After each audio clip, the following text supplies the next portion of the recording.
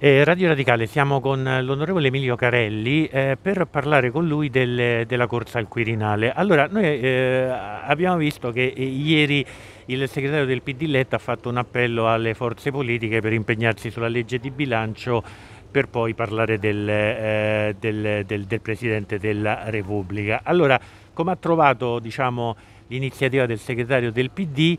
Che è stata subito sostenuta dalla, dalla Lega e da, da, da, Forza Italia. Allora è rimasto sorpreso da queste adesioni, da questa iniziativa, eh, oppure pensa che poi sarà fisiologico eh, continuare a parlare di questo tema? Ma io, per quanto mi ricordo, non si era mai cominciato a parlare delle elezioni del Presidente della Repubblica con così ampio anticipo. L'elezione si terrà probabilmente a fine gennaio, primi giorni di febbraio, quindi mancano ancora praticamente quasi tre mesi e nelle scorse elezioni il dibattito iniziava su per giù qualche settimana prima. Quindi eh, sono convinto che questo appello eh, sia positivo, eh, sono convinto che si debba in questo momento fare una pausa e dedicarci più ai problemi pratici del Paese, che sono poi fare una legge di bilancio che vada ad allocare bene tutte le risorse e porti avanti eh, il PNRR. E se poi questo appello, che formalmente è stato accettato, eh, verrà rispettato, questo non lo so. Io temo che tra qualche giorno poi si ricomincerà a parlare ancora eh, di Quirinale, eh, perché questa è la politica, perché forse in questo momento eh, il fatto che non ci sia un governo politico, ma un governo di ampia coalizione, eh, rafforza sì le posizioni di Draghi del Paese, ma mostra anche tutti i limiti di quelli che, della politica di oggi. Quindi nessun partito in questo momento è capace di imporre una candidatura forte. Ecco perché se ne parla tanto. Ecco, è, è, stato sorpreso nel, è rimasto sorpreso nel vedere l'adesione di, questi, di queste forze politiche all'appello di Letta? No, non sono rimasto sorpreso anche perché penso che si debba arrivare alle elezioni del Presidente della Repubblica eh, con grande serenità, quindi creare troppa tensione, rischiare di bruciare troppi nomi. Il primo a essere bruciato, se si continuerà a parlarne così, sarà proprio il Presidente del Consiglio Mario Draghi, eh, quindi mi sembra anche corretto in questo momento prendere un momento di pausa. Noi come Coraggio Italia, devo dire, avremo 34 grandi elettori tra deputati, senatori e rappresentanti regionali, su 1007 che dovrebbero essere, mi sembra, eh, in questo momento i, i grandi elettori, eh, rappresentano comunque un numero che potrebbe, in caso di più candidature, eh, spostare eh, diciamo così, i, i, voti o da una parte o dall'altra. Quindi eh, lei ritiene che sarete decisivi insieme agli altri, quelli che vengono definiti come i non iscritti al Parlamento europeo? Beh, sicuramente è una situazione abbastanza nuova che si sta creando perché abbiamo un gruppo misto formato da 60 eh, parlamentari, abbiamo molti gruppi eh, di centro eh, che se messi insieme possono rappresentare una forza decisiva e comunque determinante e questo è comunque il ruolo che vogliamo giocare anche noi come Coraggio Italia. Senta, eh, come ha trovato il risico eh, di diritto costituzionale che è stato fatto eh, sul nuovo ruolo del Presidente della Repubblica semipresidenziale. Ho visto che molti si sono dichiarati scandalizzati quando noi abbiamo visto negli anni scorsi dei presidenti che di fatto sono stati dei semi, cioè eh, sono stati dei presidenti della Repubblica quasi in, un, in una forma di governo semipresidenziale. Ecco, questo è vero, però io penso che qualsiasi riforma costituzionale che vada ad attribuire al Presidente della Repubblica un ruolo diverso da quello che ha in questo momento, quindi di capo dello Stato eh, e non un ruolo di governo o, o di semigoverno, come vorrei il semipresidenzialismo, debba essere comunque discussa e approvata dal Parlamento. Queste forzature, l'abbiamo visto, ne ha parlato Giorgetti, eh, si è aperta una discussione, eh, questa è una discussione che dura da tanti anni, la tentazione di un semipresidenzialismo, del presidenzialismo, cioè di un presidente eletto direttamente dal popolo che abbia anche un ruolo determinante nel governo c'è sempre stata. È una tentazione eh, che così eh, diciamo, ha allettato molti in questi ultimi decenni. Io personalmente resto del parere che in questo momento l'ordine costituzionale che abbiamo sia il migliore possibile e il ruolo che ha il Presidente della Repubblica in questo momento debba rimanere tale. Eh, Mattarella si è comportato da, eh, da Mitterrand secondo lei in questa legislatura?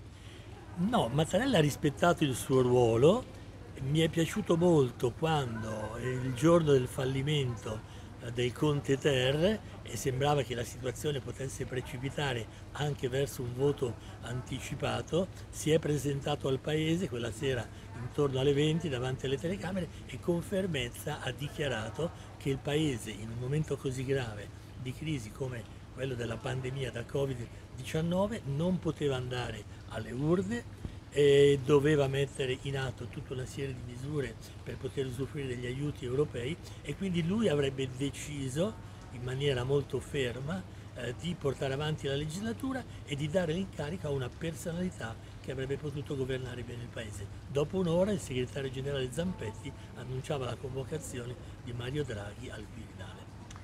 Ehm, ritiene che eh, insomma Mattarella potrebbe accettare un re- reincarico perché noi stiamo vedendo lo stesso scenario che avevamo visto con Napolitano che addirittura una settimana prima della sua rielezione disse che non era disponibile.